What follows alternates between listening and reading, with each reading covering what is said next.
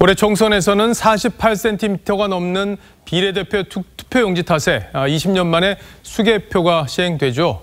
어, 일일이 사람 손으로 개표를 하다 보니 인력도 많이 필요하고 시간도 더 걸릴 겁니다.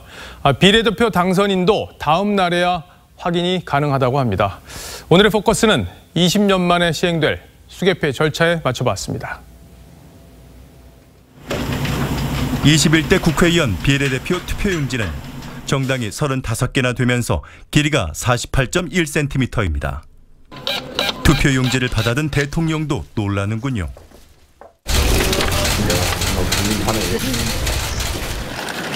개표 작업에 쓰이는 투표지 분류기입니다. 눈으로 보기에도 굉장히 빠르죠. 분당 처리 속도가 340장이라고 합니다. 광학식 문자 판독기 방식으로 기표 형태와 위치를 정확하게 파악하여 분류합니다. 그런데 투표지 분류기는 투표용지 길이가 34.9cm를 넘지 않아야 쓸 수 있습니다. 비례대표 선거는 투표지 분류기를 사용할 수 없어 수작업으로 개표합니다. 결국 2000년 총선 이후 20년 만에 비례 투표에 대해서만 수개표가 시행됩니다. 오후 6시 투표가 끝난 후 투표함을 봉인해 개표소로 보냈습니다. 전국 245개 개표소에서 투표함을 책상 위에 쏟아붓자 개표 요원들의 손길이 바빠집니다. 참관인들의 눈초리가 아주 매섭군요.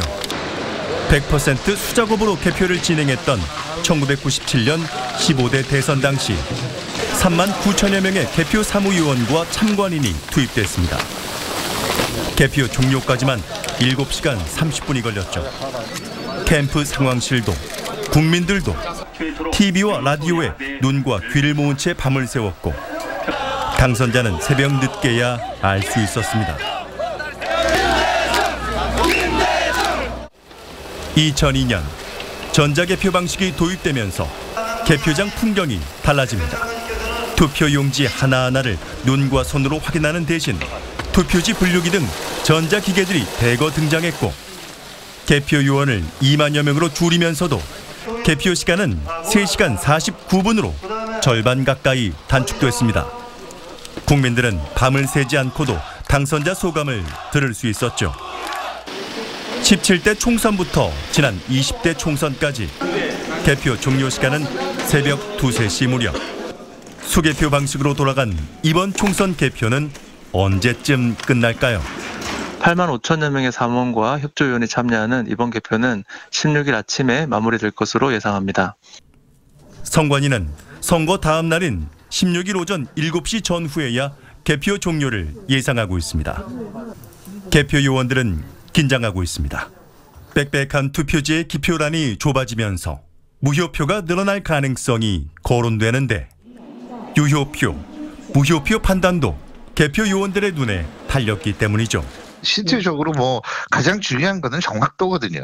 정관위 측도 상당히 그 부분에 심혈을 기울여 가지고 몇 번 검표를 하려고 하는 것 같더라고요.